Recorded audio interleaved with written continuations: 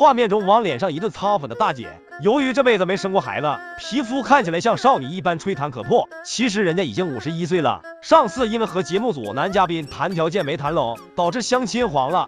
但节目一经播出，关大姐很快就成为了众多男嘉宾心中的女神，都给节目组拨电话要求安排相亲。很快，红娘通过筛选条件之后，匹配上了五十五岁的刘永贵。看到你们的节目，我相中了一个人儿，关玲，关女士啊。就是没生过孩子，是不是？长得挺年轻，挺好看的。啊，对。你相中她了啊？刘大哥住珲春，关大姐住长春。此次相亲是女方乘坐高铁赶往男方这边。哎这个这个就是，这个就是，这呢，这呢，大姐。哎呀，双方见面后简单寒暄几句，此时刘大哥便开始他的骚操作，他的一句话直接把红娘给整懵了。刘永贵，刘大哥，啊，刘，怎么坐车还是继续在这聊一聊？在这聊好吗？啊，走吧，咱们坐车吧。啊，好，好，你走吧。嗯好家伙，这真是抠门抠到家了啊！人家大姐不远万里来找你相亲，你连个打出租的钱都舍不得出。不过话说回来，刘大哥见到心仪的女神，那是格外兴奋。走在去坐车的路上，眼珠子没有一秒从大姐身上移开过。各位大哥一直盯着大姐瞅，他怕丑啊。不过大姐对刘大哥的第一印象评价确实不咋地，一般。哪儿一般？都说过，比如那这也是，就是身高啊，长得也是，就是，不是我喜欢那种类型。那你喜欢？一米七四、七五、七六那样。喜欢个高的是不是？不过这些话并没有打击到刘大哥。走了半个钟头，终于坐上了出租车。刘大哥看见大姐脸上的笑容逐渐消失，便主动提出接下来的午饭由自己来做东，让出租司机拉着去珲春最大的酒店。赶巧的是，车子恰好路过刘大哥的住处，便提议先来家里参观一番。这个是公租房，嗯，这我姑娘房间啊。这里面是姑娘，现在大哥是跟姑娘在一起住。对对对对。原本大哥想领着大姐先提前认认门，没想到这个举动却是弄巧成拙，直接让大姐对他的印象拉到最低。有点太勒了。勒的。拉的。看哪儿呢？比较明显。第一眼鞋柜第一眼，一下我就不得劲儿。家里这脏乱差的环境，你心里是真没点逼数啊？真敢往家里领？大姐看着满墙的数字，开始感到好奇。大哥赶忙解释，平日里不烟不酒，唯一的小爱好就是研究彩票。别看他只是几串小小的数字，指不定哪天就能成为财富的密码。红娘率先开头发问：那咱中过吗？这咋说呢？嗯，小的肯定中过哈。就是这玩意都是有一种隐私的保密，嗯，这都不往外说。那就懂了，那肯定是中过，是不是？都不往外说，嗯，你就直白点告诉大家，到底中没中过大奖？为了挽回自己在大姐心目中的形象，大哥赶忙提议立即前往珲春最大的馆子，掏钱请客吃饭。紧接着，大哥的抠门劲开始犯了。点击下方合集观看全集。你这家伙，呼呼钱往外扬，你家银行啊？抠，太抠了。就从他那个点菜，我就看出来了，他就点的三个两个，那你说这么多人哈？五十一岁漂亮大姐，一辈子没生过孩子，心急大哥来相亲，表示今天一定要把这个美人胚子给拿下。前脚说要请大姐去当地最豪华的酒店吃饭，后脚就带着她来到了一家街头菜馆。刚一坐下，大哥这一身的抠门劲便上来了，啥菜系便宜他就点啥。真真鱼，来两个，来四个吧。来四个。嗯，那个锅。先来十个。锅咱们家有赠送，赠送的小鱼锅，还多搁点豆腐里。行，可以，没问题。大哥，你还真是烂泥扶不上墙啊！你都不顺口问问人家女方想吃啥，有没有啥忌口的，你就噼里啪啦点一桌素菜。此时一旁的红娘都看不下去了，抠太抠了，就从他那个点菜我就看出来了，他那点的三个两个，那你说这么多人哈，如果要是我点的话，三十二十先这么要，吃不了咱剩下，是吧？让客人心里舒服。你不应该把菜单给大姐瞅瞅吗？是，姐吃啥。不是，你看喜欢吃啥来点点呗，别管我说。大哥担心大姐专挑报个海参点，于是，在把菜单寄给大姐之前，还不忘温馨提醒一下。不够，啊一会儿咱再少上，这不能上一下上那么多，现吃现烤。嗯，你烤鸭这搁点都干了。你你我给你们烤，你们就吃吧。刚才说来两个蒸鱼是吧？啊，对对对。不过你这理由多少有点牵强，真是大衣柜不昂把手，抠门啊！大姐满脸写着嫌弃，你难道看不到吗？好不容易把菜上齐了，大哥开始幻想起和大姐今后的甜蜜生活。想说的就是，你我之间的未来和发展。啊，什么是未来呢？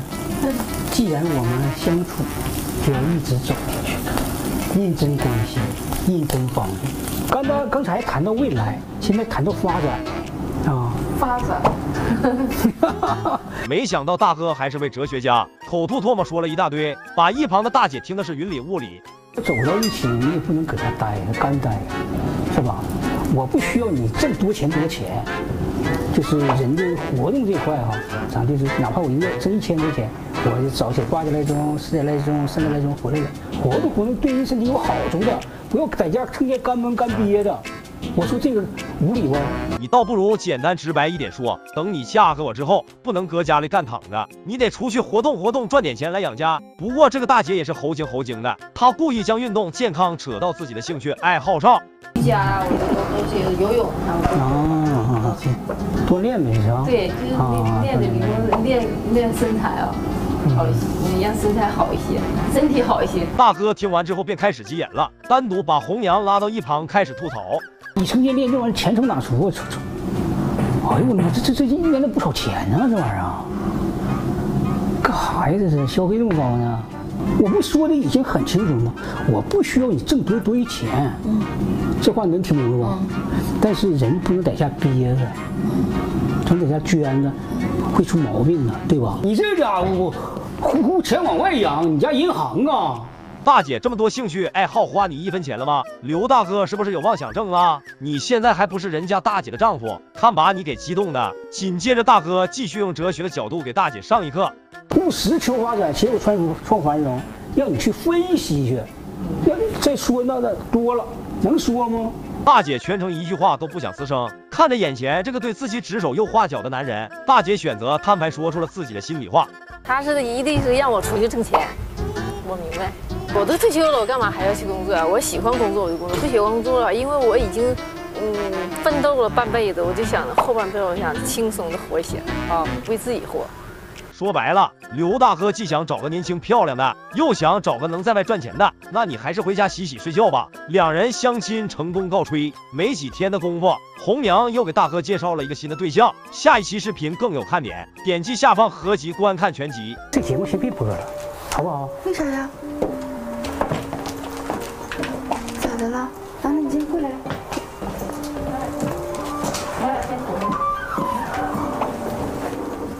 连菜都舍不得点的抠门刘大哥，与五十一岁漂亮大姐相亲失败，于是红娘火速无缝衔接了一位新的女嘉宾。没成想两人见面刚开始相亲，刘大哥就直接叫停节目，给女嘉宾气得当场甩脸走人。天空一声巨响，先来介绍一下这位怪脾气的刘大哥。红娘看着满墙的数字开始疑惑，我尼玛这是玩谍战摩斯密码呢？妈，大哥你这墙上啊？啊，我自己这好玩嘛，彩票、双色球。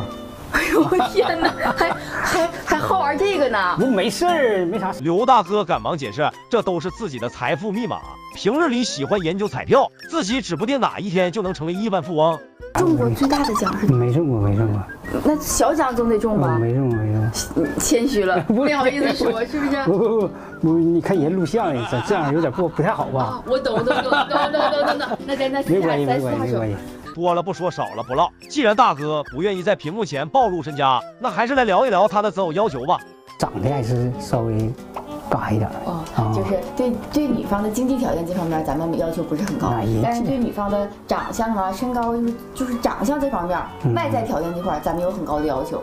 那说白了就是啥呢？喜欢好看的呗。嗯，对对对，是不是？那必须的。秒懂。作为一名成功男士，谁的身边不想拥有一位美娇妻呢？收入可以少点，但必须得长相漂亮。哎呦我去，不行，咱先撒泡尿照一照自己吧。按照刘大哥的要求，红娘找到了女嘉宾张大姐。她听说要相亲，把自己给激动的一宿没睡。大姐说自己年轻那会只顾着赚钱，没有心思谈情说爱，没几年的功夫就赚了两套房产。二十多岁就三十来岁，一天赚个几百块钱就是很轻松，那时候就是挺实了。嗯。小兜满满的，回家一数钱，老舒服了。不过每天面对空荡荡的房间，大姐也开始觉得生活倍感无趣，想找一个作伴的，一起说说话，谈谈心。大姐的择偶要求并不多，只想找一个满眼都是自己的男嘉宾。嗯，能真心踏踏实实的过日子的，就是说一眼能喜欢我的那种。他不喜欢我，就是光看条件没用。于是红娘便领着大姐来到了抠门大哥家中，还没等双方自我介绍完毕，大哥的老脸瞬间耷拉了下来，直接表示要停录节目。呃，这么的吧，这节目先别播了，这先别播了，好不好？为啥呀？咋的了？啊，那你先过来。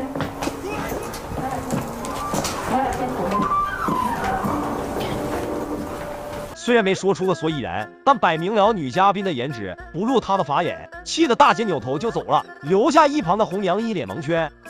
咋的了？哎呀，别播，别播，别播！不是，不是播不播，咋的了？你就先跟我说咋的了，大哥。我跟妹妹相中，播它干啥呀？差哪儿？你跟我说说。大哥，你都没聊，就是大姐一进屋，不行不行，绝对不行。不是，大哥，我就想问问大姐，人家大老远的从长春到珲春到这儿，你你都没给个机会了解一下，大姐人特别的好。不用了解，不用了解。说句不爱听的，大哥，你连最起码的尊重他人都做不到，你是来相亲的还是来结仇的？有啥想法可以私下和红娘商量，你这直接驳了人家女嘉宾的面子，请问你礼貌吗？你私下里跟我红娘说，你不能驳人家大姐面子呀，这让人大姐多下不来台呀。是不太知道，不太知道。最后一个镜头给到了张大姐，她表示红娘夹在中间也不容易，于是便豪横的请她和摄像大哥去下馆子，中途还不忘提了一句。我都没看上他，不是说人不接待我，就是我他接待我，我有可能不会选择他。咱不能，咱不能说他埋汰人家怎么的，人条件肯定是好。四千块钱工资，咋玩彩票都玩了。大哥也知道自己的做法有所欠妥，便追下楼邀请大姐共进午餐。大姐是个有格局的爽快人，表示没多大点事。关系多大事儿啊！来来，大老远来，咱一会儿吃个便饭。别吃了，我跟嫂子俩都吃完了，都吃完了。谢谢你啊，别破费了。谁都有选择的权利，我太能理解了。这玩意儿一家女儿百家求。屏幕前的你对这个大哥有何看法呢？欢迎大家在三姐评论区留言。本期搞笑相亲到此结束，大家散会。